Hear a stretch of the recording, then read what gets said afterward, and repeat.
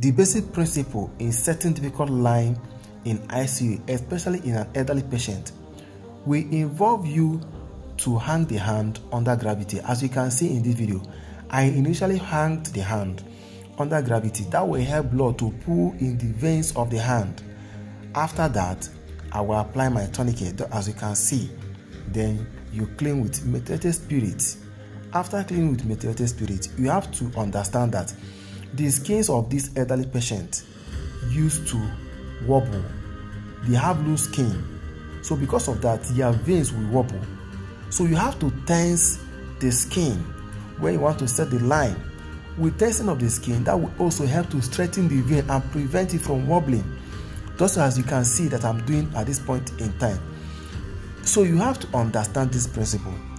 You have to tense the skin to prevent the veins from wobbling. After that, then you now set your line. But you must understand that you should understand the basic part of an IV cannula.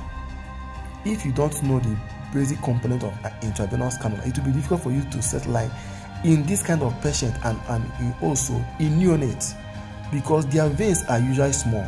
So you have to understand this before you try to set line.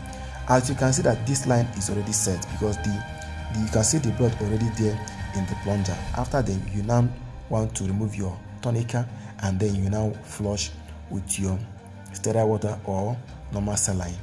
Then you secure your vein and your line is set.